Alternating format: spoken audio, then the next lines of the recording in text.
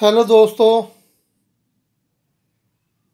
मैं आपका दोस्त गुरमीत सिंह।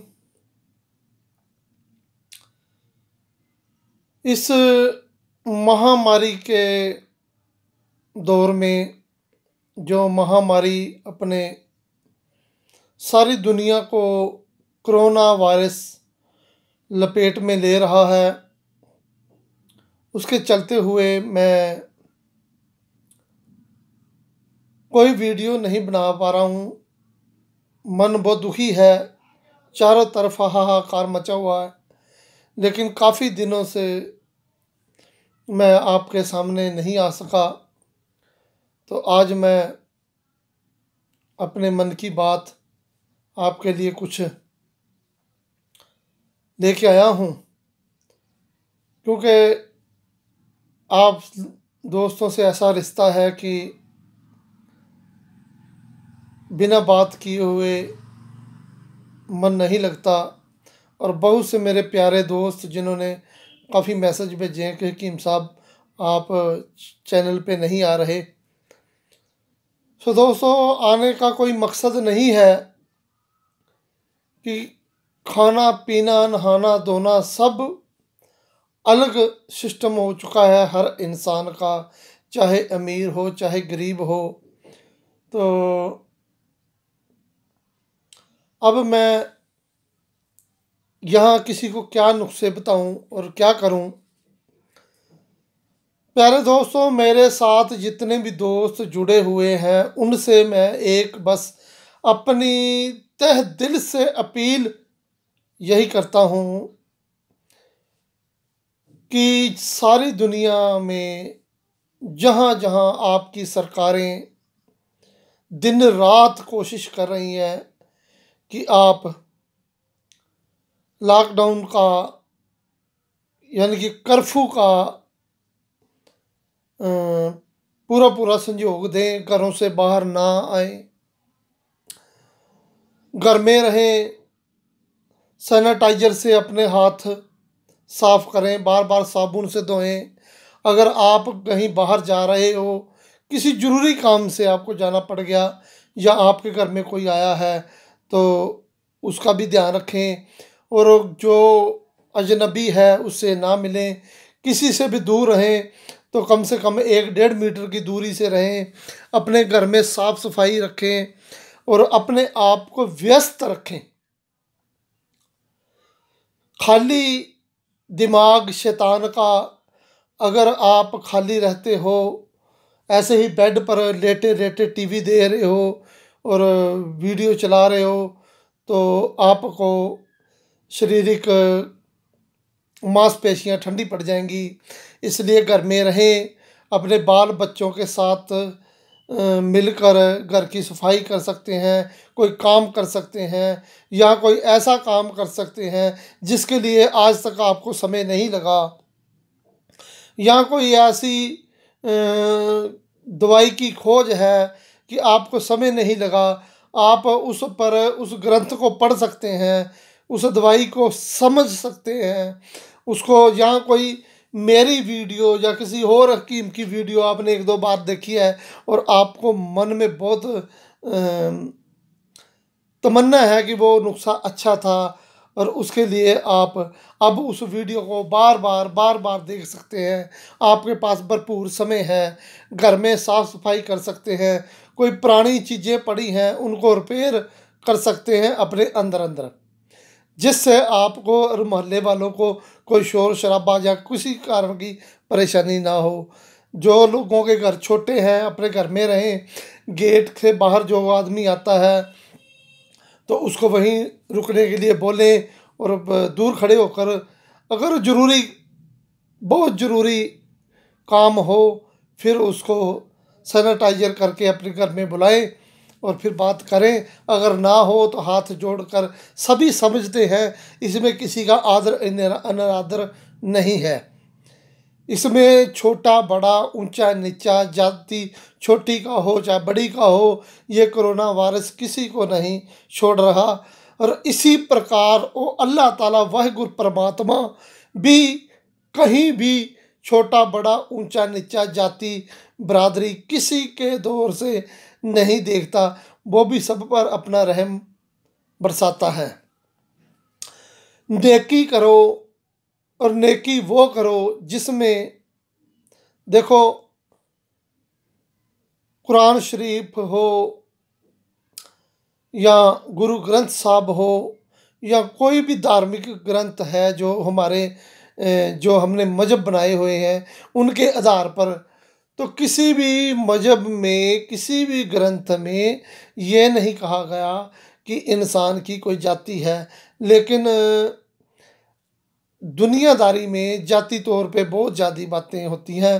तो इनसे परे हटकर आप दूसरों की मदद करें, अपने घर में बैठते, बैठे हुए ही आप यह कोशिश करें कि आपके साथ वाला कोई दोस्त, कोई बीमार या भूखा तो नहीं, जहाँ तक उसकी मदद हो सके करें। तो गलियों में निकलकर, रास्तों में निकलकर, बिना कानूनी इजाज़त से अपने लंगर लगाकर ना बैठें, ये भी बहुत बड़ी भारी कमी है। कुछ लोग ऐसा होता है समाज सेवा के लिए खुद ही निकल जाते हैं। तो किसी भी प्रकार की आपने किसी की भी मदद करनी है तो उसके लिए आपके आसपास जो भी सरकारी मुलाजम या पुलिस घूम रही है, उनसे अपनी रिक्वेस्ट दें और अगर वो आपको अनुमति देते हैं। क्योंकि जो हमारे लिए दिन रात बाहर खड़े हुए हैं, दिन रात हमारे लिए कोरोना वायरस के बीच में घूमते हुए हमारी हिफाजत के लिए लड़ रहे हैं, उनकी कोई जात नहीं है।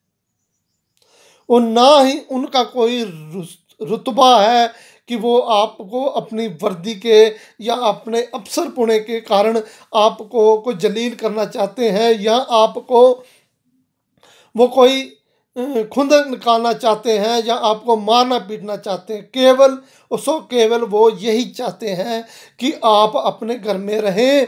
कोरोना वायरस से हम लड़ रहे हैं और आपके साथ आपकी हर मुसीबत को पूरा करने के लिए, आपकी हर ज़रूरत को पूरा करने के लिए वो खड़े हैं। यह बात मैं अपने इंडियन लोगों के लिए बता रहा हूँ। देखो, हमारे मुख्यमंत्री आदरणीय मोदी साहब ने इतना बड़ा टेंशन ले रखी है कि जिस किसी के बस का रोग नहीं होता, ऐसा बड़े बड़े तरक्की कार जो देश हैं, उन्होंने भी इतनी गलतियाँ करके और अपने इतनी बड़ी बीमारी और इतने बड़े तादाद में लोगों से परेशानी से जूझ रहे हैं। अब हम किसी पे तोमत क्यों लगाएँ कि उसने क्या गलती की है? लेकिन उनकी गलती से सीख कर हमारे मुख्यमंत्री आदरणीय मोदी साहब ने इतना बड़ा ऐलान किया है। कुछ लोग यह बोल रहे हैं कि उन्होंने तैयारी नहीं की। लॉकडाउन लगाने के लिए, कर्फ्यू लगाने के लिए तैयारी नहीं की। तो लोगों का कुछ का ये कहना है कि पाँच चार दिन अगर दे देते तो लोग चले जाते। ये है बिल्कुल गलत बात है। इसके लिए मैं अपने आदरणीय मोदी साहब को तह दिल से धन्यवाद देता हूँ। कारण ये है कि अगर मोदी साहब दो दिन पहले भी ये बता देते कि आप कहीं जाना चाहते हो तो चले जाओ। तो देखो केवल सो केवल ये 21 दिन तो उन लोगों को समझाने के, संभालने पे ही सारा प्रशासन लग जाता। तो सारी अपने हिंदुस्तान में जो अब तक बहुत कम केस आ रहे हैं तो यह रातों रात हज़ारों लाखों की तादाद में बन जाते। तो इसीलिए सरकार की सहारणियाँ बहतह दिल से धन्यवाद करते हुए मैं अपने देशवासियों से अपील करता हूँ कि वो सरकार का साथ दें। अगर किसी की मदद करना चाहते हैं तो सरकारी अफसरों से बात करें। अगर वो मुनासिब समझें तो आपको साथ ले सकते हैं। लेकिन जिन लोगों को अपने घर में रहने के लिए कहा गया, केवल वो बाहर गली में भी कुर्सियाँ लगाकर ना बैठें। बहुत से दोस्त हैं जो गलियों में, घर में तो रह रहे हैं, लेकिन अपनी गलियों में कुर्सियाँ लगाकर आस पड़ोस में बातें कर रहे हैं। देखो, इतना बड़ा काम नहीं है घर में रहना।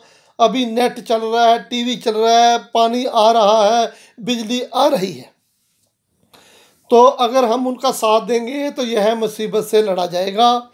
तो आप मेरे कहने पर, अगर किसी को भी यह कोई बाहर से आया हुआ है, किसी पे शक पड़ता है, उसी समय आपको हेल्पलाइन जो नंबर दिए हुए हैं, उनको नोट करके रखें आपके फ़ोन में, आपके मीडिया पे, टीवी पे, रेडियो पे, सब जहाँ पे सरकारें अपने अपने क्षेत्र में हेल्पलाइन की जो नंबर दे रहे हैं, उनको अपने घर में लिख कर रखें।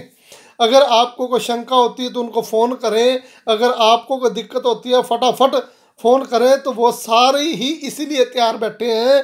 वो आपके घर में पहुँचेंगे, आपको सहायता देंगे। अगर किसी को इंसुलिन वार्ड में लेके जाना पड़ेगा तो वो लेकर जाएँगे। उससे उसकी भी हेल्थ होगी और आपकी भी। अगर किसी को थोड़ा सा भी कोई प्रॉब्लम होती है, उसको छुपाएँ नहीं। फटाफट अधिकारियों को बुलाएँ, बचा, बताएँ, अगर आपके पास नहीं है तो आपके बाहर जो घूम रही पुलिस है, उनको इशारा करके बुलाएँ और उनको बताएँ ये प्रॉब्लम है। अगर आप इसको छुपाते हैं, दुनिया में कोई इलाज नहीं है तो बहुत से हकीम और जो तंत्र मंत्र वाले हैं, उनसे बचें। कोई दवाई नहीं है।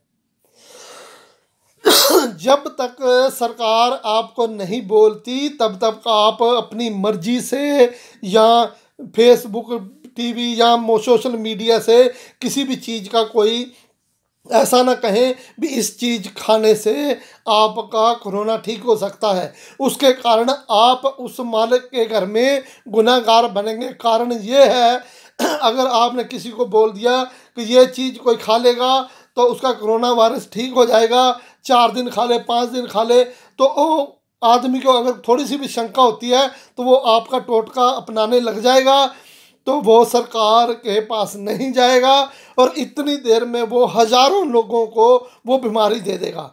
तो अगर आपने यह काम किया, आपने पुण्य का काम नहीं किया, जो लोग उन लोगों को करते हैं, उन्होंने उस मालिक के घर में अपना सबसे बड़ा अपराध किया है।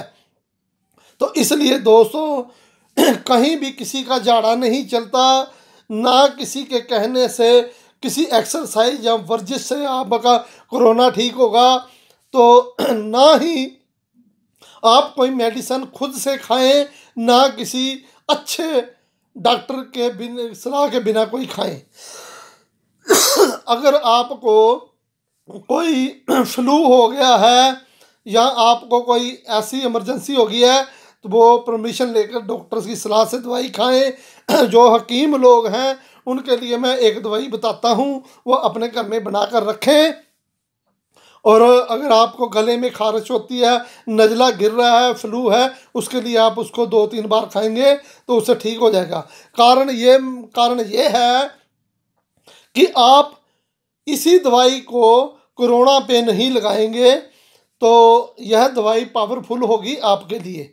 लेकिन मैं यह कोरोना वायरस के लिए किसी को फोर्स नहीं करता कि वो कोरोना वायरस की खाएँगे तो उससे ठीक हो जाएगा। बहुत से दोस्त मुझे मैसेज कर रहे हैं, देखो जब सारी साइंस सारी दुनिया के डॉक्टरों के हाथ खड़े हैं तो इसमें अपना पैर पसार कर आदमी को, दुनिया की सेहत से नहीं खेलना चाहिए। अगर कभी कोई नुस्खे ऐसे होते हैं, किसी एक इंसान को दे दिया, दो इंसान को दे दिया, उन इंसानों को कोई फ़ायदा नहीं हुआ तो वो चाह और किसी से लेकर पैदा कर लेंगे। अगर आपकी दवाई से नुकसान भी नहीं हुआ तो यह मर्ज तो दिनों का है, दिनों के पल से पल बढ़ता जाता है। केवल एक इंसान के लिए नहीं है, उसके संपर्क में आने वाले हज़ारों की तादाद में लोग भी इसी चीज़ से ग्रस्त हो जाते हैं। इसलिए मेरे जितने भी हकीम मेरे साथ जुड़े हुए हैं, वो इस बात से ध्यान उठा दें कि वो किसी कोरोना का इलाज करेंगे। तो ये, अब दोस्तों, घर में रहें, प्यार से रहें, अपने घर में बैठकर बच्चों से बातचीत करें, जो पढ़ना है उनको पढ़ाएँ, थोड़ा घर में टहल लें उठने बैठने के और भी मैं तरीके अगर वीडियो बनाई तो वो बता दूँगा। यह दोस्तों, हम जो मैंने बताया था, फूल काले धतूरे के, वो इकट्ठे हम कर रहे हैं और साथ के साथ छाया में सुखा रहे हैं।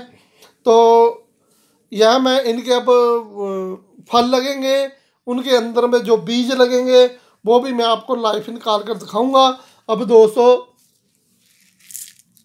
ये इसके बीज ऐसे होते हैं। काले धतूरे के बीज काले नहीं होते, ये भी ध्यान रखना। ये जो अपने इलाके में बीज होते हैं, क्योंकि पंसारियों से जैसे भी हम लेते रहे हैं, वो काले समझ ले तो काले, पीले समझ ले तो पीले तो इसमें से जो बीज निकल रहा है, इस प्रकार के निकल रहे हैं। इनका हम तेल भी निकालेंगे, आगे आने वाली दवाइयाँ भी बनाएँगे। अब दूसरा है, जो धतूरे का यह है, डबल। इसको डबल आता है और जो से दूसरे धतूरे तो उनको सिंगल ही फूल आता है। तो यह बीजों मैं कोशिश करूँगा कि बाद में जब कोई दोस्त हकीम मेरे से दवाई मंगाए या उनको मैं पाँच सात बीज साथ में भेजने के लिए भेजा करूँगा। अगर हमारे पास इकट्ठे हो गए, इसका कारण यह है कि सभी हकीम अपने घर में एक एक दो दो पौधा लगाएँगे। तो यह जो लुप्त हुई जाती है कि हर जगह नहीं मिलते तो यह, हम इसकी कास्ट करेंगे सभी हकीम मिलकर, जिससे हमें भी फ़ायदा होगा और हमारी आने वाली पुस्तों को भी, नस्ल नस्लों को भी ये चीज़ पृथ्वी पर, धरती पर मिलेगी, वो फ़ायदा उठा लेंगे। जब यह ही ख़त्म हो जाएँगी जड़ी बूटियाँ तो फिर फ़ायदा क्या होगा? तो इसलिए मैं इसके बीज भी इकट्ठे करूँगा और हो सका तो पौधे भी बनाएँगे, ताकि यह जो जड़ी बूटियाँ आसानी से नहीं मिल रही, जिसके इलाके में नहीं मिलती तो वो इनकी कास्ट करके तो आगे से आगे बढ़ा सकता है। तो दोस्तों, यह मेरा आपके साथ केवल मिलने का एक था कि मेरा मन भी उदास था। जो मेरे प्यारे दोस्त हैं, उनका भी बहुत मन उदास था कि हम आपकी आवाज़ सुनना चाहते हैं कि आप तंदुरुस्त हैं। बिल्कुल हम तंदुरुस्त हैं और उस मालिक की उस परमात्मा की, अल्लाह ताला वह गुरु परमात्मा की पूरी मेहर है और आपकी दुआएँ हैं। और मैं हमेशा सब के लिए सब के लिए वही दुआएँ माँगता हूँ जो आप मेरे लिए मांगते हैं कि आपने जो मेरे लिए मांगा है, अल्लाह ताला वह गुरु परमात्मा सबसे पहले वो आपको दे। तो अब दोस्तों, आपने क्या करना है कि आप पचास ग्राम या सौ ग्राम गंधक ले लें, उसको पीस लें, आंवला सार। शुद्ध हो या ना शुद्ध हो, कोई मतलब नहीं। शुद्ध करने अच्छा है, नहीं हो तो ठीक है। उसको पीस कर रख लें और सौ ग्राम आप की डली लें, गोदंती। गोदंती हड़ताल होती है, या केवल हकीमों के लिए है हकीमों को पता है। उस गोदंती हड़ताल को आप ऐसा करें, चाहे चूल्हे पे ऐसे पकड़ किसी चीज़ से उसको ऐसे गर्म करें कि वो एक बार गर्म हो जाए। उसके बाद उसको पीस लें को पाँच सात मिनट उसको गर्म कर लें, किसी ज़रिए से कर लें। चाहे कोलों पे रख लें, चाहे आग पे रख लें। ना हो तो गैस पे ही रख के उसको दो बार, पाँच बार, दो चार मिनट इधर आग दी, दो चार मिनट इधर आग दी तो गर्म हो जाती है। उसके बाद उसको पीस लें। पीस कर अब अपने पास रख लें। एक कुज्जी लें, रोगनी। उसके नीचे दो तोले पहले गंधक बिछा दें। उसके ऊपर दो तोले गोदंती बिछा दें। फिर गंधक बिछा दें, फिर गोदंती। ऐसे उनकी दो दो तोले की डेरियाँ लगाकर उसके अंदर रख दें और कुछ के ऊपर ढक्कन लगा के उसको गीले मत कर दें हल्की सी। फिर उसको गैस चूल्हे पे भी आप रख सकते हैं, गैस पे भी रख दें। तो थोड़ी धीमी आग हो धीमी आग हो। दरमियानी, तेज से थोड़ी कम और सेंटर से बीच वाली। आप आधी आग भी दे सकते हैं, जितनी आग में हम गैस चलाकर रोटियाँ, राटियाँ पकाती हैं, बीबियाँ, जितनी आग वो रखते हैं, उससे थोड़ी कम रख लें या आधी रख लें। या तीन चार घंटे उस पर पकने दें, उसके बाद आप इसका ढक्कन खोलें और देखें कि वो सारा एक चिक्कड़ सा, एक आपस में मिला हुआ मुहाद सा बन जाएगा। तो फिर दोस्तों उसको आप क्या करें कुजी को फिर ऊपर थोड़ा सा गर्म करें, क्योंकि यह जो गंदक पिघलेगी गोदंती के साथ वो नीचे चिपक जाएगी उसके तले पे। तो आप क्या करें, फिर कुजी को आग पे रखें। जब वो थोड़ी सी गर्म हो जाए या गर्म हो जाएगी तो अगर आपने नीचे उतार दी है तो गर ठंडी होकर जम जाएगी। जब वो गर्म हो जाए तो उसके नीचे से ऐसे चक्कू से उसको उठाकर उसको बाहर निकाल लें वह फिर जम जाएगी। फिर उसको पीस लें। पीस कर और अपने पास रखें और इसके आप ढाई सौ जी के कैप्सूल भर लें। जो बड़े दोस्त हैं, उनको नज़ला जुकाम या गले में इन्फेक्शन होती है, उसके लिए बुखारों में भी जिसम के लिए हर जगह पे काम करेगी, हर फ्लू पे काम करेगी। जैसे अब सर्दी का मौसम बदला है तो दोस्तों को हो जाता है। तो यह आप किसी भी बदरके से दे सकते हैं या किसी भी काढ़े से या वैसे ही गुनगुने पानी से भी दिन में दो तीन बार दें, ठीक हो जाएगा। जो बच्चे हैं, उनको सौ सवा सौ ग्राम की दवाई दें। और जो बिल्कुल छोटे बच्चे हैं, दो चार मान लो साल के हैं, उनको ऐसे ही थोड़ी सी कोई मसर के दाने जितनी शहद में रला कर चटा दो तो यह खांसी जुकाम नजला ठीक हो जाएगा। उसके बाद दोस्तों,